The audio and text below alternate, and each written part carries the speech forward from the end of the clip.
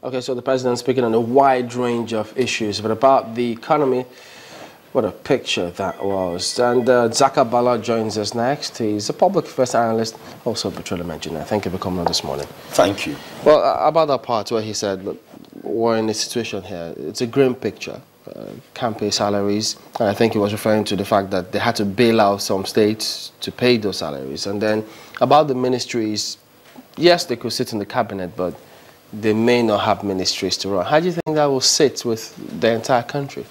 Well, first of all, uh, I can tell you this straight away. It will not be immodest to say that uh, Nigeria does not have economic power. And if you don't have economic power, you, you cannot have political power. You cannot be able to, to have that integrity to, to sit and talk on the international pedestal.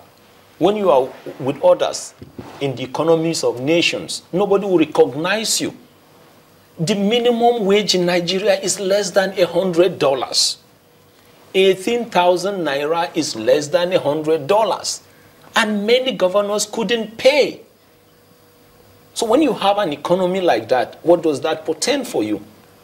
It simply tells you that you have, you have probably been generating motions, but you have not been moving.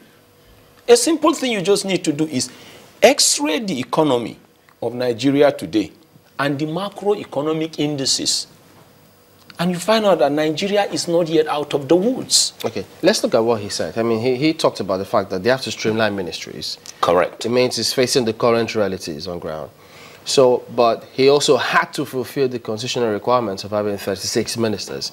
So, since he can reduce the ministries, as he says he will, why don't we also just go the whole hog and face the bull, take the bull by the horn and maybe hey or sponsor maybe an executive bill to ensure that we amend that part of the constitution that talks about that? Because if you're just going to keep bringing people up there you're going to have to pay them.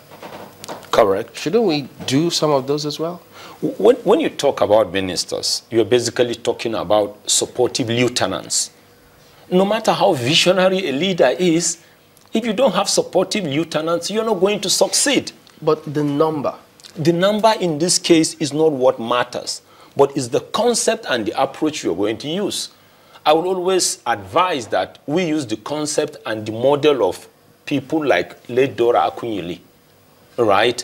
Why I'm saying this is because if you can identify Nigerians of Nigerians extraction, right, who have the intellectual and management dexterity, they will be useful to you. I'm mentioning Dora Akunyili because we need to also celebrate our heroes and heroines, whether they are alive or whether they have graduated into immortality. You see, when you have characters like that as supportive lieutenants, you will succeed, regardless of whether you assign them to a physical, tangible ministry. Because you're talking about somebody who was probably a, a pharmacologist, right? From there, went to PTDF, succeeded, went to NAFDAC, went to Ministry of Information without knowing anything or studying communications. That is dexterity. If you have Nigerians like that, all you need to do is you send them across the strata yeah, of Nigeria uh, and they will succeed. Sorry, so that time, that number 36 becomes immaterial. Mm. It's how supportive they will be to you as lieutenants that matter. That's you're saying that uh, there will be no backlash as a result of that? Is that how, how, how can there be backlash? Knowing that, I mean, you are living in a country where the Human Development Index is low. You are living in a country where, as we speak today, you claim to be a continental economy, but you are running it on electricity generation that is less than 5,000 megawatts these lieutenants will have enough work to do. They will be stretched because you have sectors. That was why we have been talking about the right people with the technical argument. But you know, you have some of them who will say, parliamentary button, who will say, look, I'd rather be stretched running a ministry than be stretched just sitting in the cabinet and formulating you policies. You cannot. There is no way. Are, Nigeria has hydra-headed issues to get you fully occupied. And let's run them probably sector by sector now. Quickly, let's just take the oil and gas industry, right? Me and you know that in the last dispensation, you know, there was a, a destruction of corporate stability due to the high turnover of chief executives within NNPC. That on its own was corporate instability. We were not responding to the cash call agreements we had with the JV companies.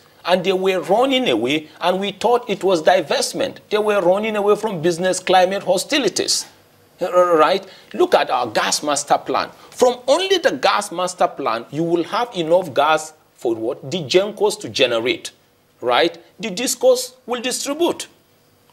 From the same gas, you can boost agriculture because the basic ingredient of fertilizer is what? Sand and what? And gas from that alone. Come to transportation. So how can ministers be, be, be idle? Come to transportation.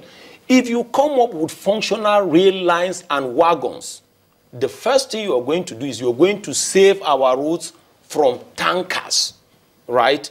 Look at the close to 18 depots across the country.